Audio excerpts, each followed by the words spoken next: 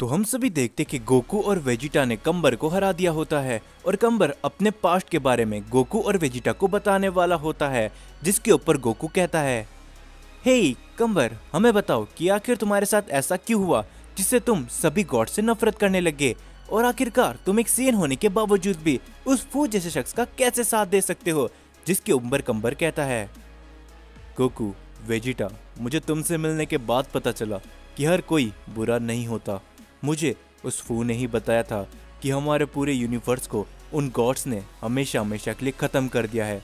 मेरा एक दोस्त हुआ करता था, जिसका नाम था हर्ट्स और हम दोनों आपस में काफ़ी ट्रेन करके काफ़ी ज़्यादा शक्तिशाली बने थे। लेकिन एक दिन, न जाने क्या हुआ धीरे धीरे करके हमारा यूनिवर्स जंजीरों में बनता रहा, और ऐसे करके हमारे पूरे के पूरे यूनिवर्स और सारे प्लैनेट को प्रिजन के अंदर कैद कर दिया गया, और जब हमारा पूरा का पूरा यूनिवर्स इस तरीके से जंजीरों से बंद गया।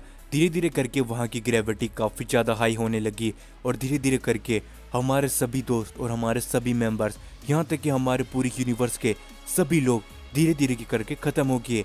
लेकिन उसके बाद मेरा वो दोस्त हर्ट्स भी ख़त्म हो गया।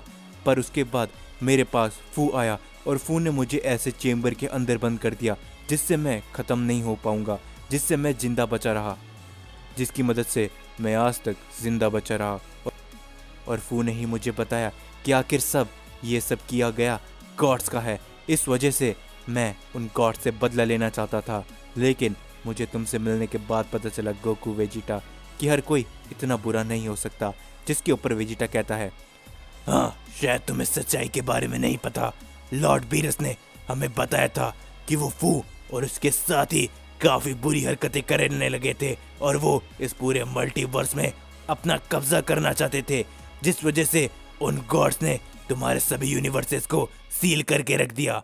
जिसके ऊपर कंबर कहता है, मुझे माफ़ कर देना गुहान, मैंने तुम्हारी आँखों के सामने तुम्हारे पूरे प्लेनेट अर्थ को तबाह कर दिया।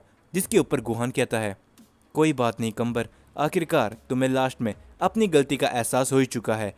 जिसके ऊपर गोकू कहता है गुहान, तुम्हें कंबर को लेके वापस प्लेनेट अर्थ में जाना पड़ेगा। वहाँ पर तुम कंबर को बुलमा के हीलिंग चेम्बर के अंदर डाल देना, जिससे वो थोड़ी देर के अंदर ही सही हो जाएगा। और तुम अर्थ की ड्रैगन बॉल की मदद से पूरे अर्थ को वापस से रिवाइव करना। हमें उस फू के पीछे जाना चाहिए वेजिटा जिसके ऊपर हम सभी देखते गुहान कहता है।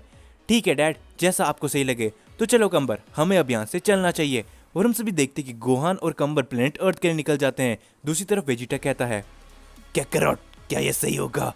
उस कंबर पे भरोसा करना, क्योंकि वो अभी अभी तो हमारे पास आया है, जिसके ऊपर गोकू कहता है हाँ वेजिटा मुझे लगता है कि हमें उसके ऊपर भरोसा करना चाहिए, साथ ही में हमें जल्द से जल्द उस फू को भी ढूंढना चाहिए। इसके बाद हम सभी को फू का सीन दिखाया जाता है। हम सभी देखते हैं कि फू उस मक सेन के साथ में होता है और फू कहता है, जैसा कि मुझे लगा था कि वो कंबर ज़रूर एक न एक दिन मेरे हाथों से निकाली जाएगा, लेकिन मुझे चिंता करने की कोई ज़रूरत नहीं है।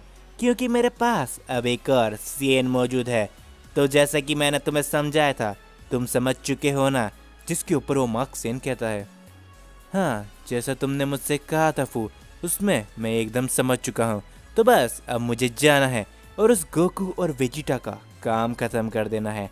तो तुम यहीं बैठ के सब कुछ देखो कि कैसे मैं उन गोकू और वेजिटा को ख़त्म करके आता हूँ। और हम देखते कि ये बोलते सेन वहाँ से निकल जाता है गोकू और वेजिटा के पास जाने के लिए। दूसरी तरफ़, गोकू और वेजिटा भी आगे बढ़ ही रहे होते हैं, लेकिन तभी वहाँ पर एक काफ़ी बड़ा अटैक आता है, जिससे गोकू और वेजिटा बड़ी मुश्किल से ही बच पाते हैं, और गोकू कहता है, हे, आखिर कौन है वो जिसने ये अटैक हमारे ऊपर किया?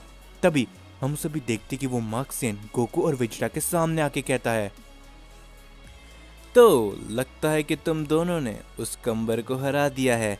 लेकिन अब तुम्हारा सामना मुझसे होने जा रहा है, जिसके ऊपर वेजिटा कहता है, हे, अब आखिर ये कौन है?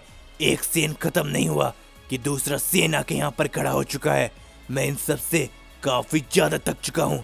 जिसके ऊपर गोकू कहता है, हो ना हो वेजिटा, ये सब वही फू कर रहा है। ये सब उस फू की ही चाल हैं। जिसके ऊपर मार्क सेन कहता है तो क्या गोकू, वेजिटा तुम दोनों हमारे साथ में खेलना नहीं चाहोगे। और हम देखते कि ये बोलते मार्क सेन वेजिटा के ऊपर अटैक कर देता है, जिससे वेजिटा बच के कहता है, आखिर तुम्हारी इतनी हिम्मत कि तुम मेरे ऊपर अटैक कर सको, मैं तुम्हें बिल्कुल नहीं छोड़ने वाला। जिसके बाद वेजिटा अपना पावर अप करके अटैक करने के जाता है उस मार्क सेन के ऊपर, और गोकू पीछे से बोलता है, वेजिटा, जरा संभल कर, इसके पास सच में काफ़ी ज़्यादा शक्तियाँ हैं। और हम सभी देखते कि मार्क सेन भी वेजिटा के ऊपर अटैक करता है, जिससे वेजिटा कुछ दूर जाके गिरता है। और वेजिटा कहता है, क्या? आखिर इस सीएन के पास भी इतनी ज़्यादा शक्तियाँ आखिर कैसे आ सकती है? और ये बोलते ही वेजिटा अपना काफ़ी बड़ा अटैक करता है उस मार्क्सेन के ऊपर, जिससे वो मार्क्सेन काफ़ी दूर जाके गिरता है। और इस एक ही अटैक से वेजिटा ने काफ़ी बुरी हालत कर दी होती है उस मार्क्सेन की, जिसके ऊपर वो सेन कहता है, मानना पड़ेगा वेजिटा, तुम्हारे पास पहले के मुकाबले काफ़ी ज़्यादा शक्ति आ चुकी है। लेकिन मैं भी तुम्हें निराश नहीं करूँगा। और ये बोलते मास्सेन एक अपना काफ़ी ज़्यादा पावर अप करके अटैक करता है वेजिटा के ऊपर। और हम सभी देखते कि वेजिटा और उस मास्सेन के बीच में वहाँ पर लड़ाई होने लगती है। और धीरे धीरे करके वहाँ पर काफ़ी बड़े धमाके होने लगते हैं। और तभी मास्सेन कहता है, लगता है कि समय आ चुका है वेजिटा, कि हम दोनों एक दूसरे को अपनी पूरी शक्तियाँ दिखाएँ। जिसके ऊपर वेजिटा कहता है, क्या क्या मतलब है तुम्हारा पूरी शक्तियों से? क्या तुम अभी अपनी पूरी ताकत में नहीं लड़ रहे। जिसके ऊपर वो मास्सेन कहता है, क्या तुम देखना चाहोगे मेरी पूरी शक्तियाँ? वेजिटा और ये बोलते मार्क्सियन अपना काफ़ी ज़्यादा पावर अप करने लगता है, और हम सभी देखते कि वो मार्क्सियन सुपर सेन थ्री रोज फॉर्म पे चले जाता है, और ये देख के वेजिटा काफ़ी ज़्यादा चौक जाता है, और वो मार्क्सियन कहता है तो चलो वेजिटा लगता है कि मुझे तुम्हें अपनी थोड़ी और शक्तियाँ दिखानी पड़ेगी। और ये बोलते मार्क्सियन एक वेजिटा के ऊपर काफ़ी ज़्यादा बड़ा अटैक करता है, जिससे वेजिटा काफ़ी दूर जाके गिरता है। और वेजिटा कहता है, क्या आखिर इसके पास अभी भी क्या सच में इतनी ज़्यादा शक्तियाँ हैं? जिसके बाद वो मार्क सेन कहता है, वेजिटा, तुम तो एक प्रिंस सेन कहलाने के लायक भी नहीं हो। तुम तो मेरे पास इस एक अटैक से कितने ज़्यादा तकलीफ़ में आ गए हो, जिसको जिसको देख के गोकू और वेजिटा काफ़ी ज़्यादा चौक जाते हैं। कि आखिर मार्क सेन को वेजिटा के बारे में इतना कैसे पता है और वेजिटा कहता है, हे, आखिर तुम्हें मेरे बारे में इतना सब कैसे मालूम है? जिसके ऊपर मार्क सेन कहता है धीरे धीरे करके सब पता चल जाएगा वेजिटा, लेकिन अभी तो तुम्हारे मरने का समय आ चुका है। और ये बोलते मार्क्सन अपना एक काफ़ी बड़ा अटैक कर देता है वेजिटा के ऊपर। लेकिन हम सभी देखते हैं बीच में गोकू आ जाता है, जो कि अपनी अल्ट्रा इंस्टेंट फॉर्म पे होता है। और गोकू कहता है, आखिर तुम कौन हो? जो हमारे बीच रास्ते में आए। और तुम हमें पहले से ही कैसे जान सकते हो? जिसके ऊपर वो मार्क सेन कहता है, गोकू, क्या तुम खुद पता लगाना नहीं चाहोगे?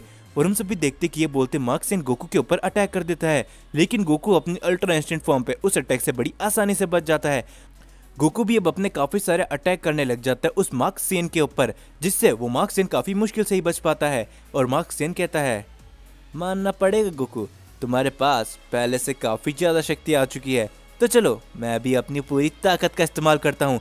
और ये बोलते गोकू और मार्क्सेन एक दूसरे की तरफ़ अटैक करने के लिए बढ़ते हैं। और हम सभी देखते हैं कि गोकू अपने काफ़ी ज़ोर का पंच लगाता है उस मार्क्सेन के, जिससे उस मार्क्सेन का मार्क्स वहीं पर टूट जाता है, जो देख के वेजिटा काफ़ी ज़्यादा चौक जाता है। और वेजिटा कहता है, क्या? आखिर ये कैसे हो सकता है? इसीलिए तुम हमसे ऐसे बात कर रहे थे, जिसे तुम हमें पहले से जानते हो। और ये देख के गोकू कहता है वो अच्छा तो तुम हो तो आखिर तुम ज़िंदा वापस कैसे हो पाए? ब्लैक. और हम सभी देखते कि वो मार्क्सियन और कोई नहीं होता, बल्कि वो ब्लैक होता है और वेजिटा पूछता है, हे ब्लैक, आखिर तुम यहाँ पर वापस कैसे आ पाए? और तुमने ये नई पावर्स को कैसे हासिल किया? जिसके ऊपर हम सभी देखते कि ब्लैक कुछ भी नहीं बोलता और बस हंसता रहता है।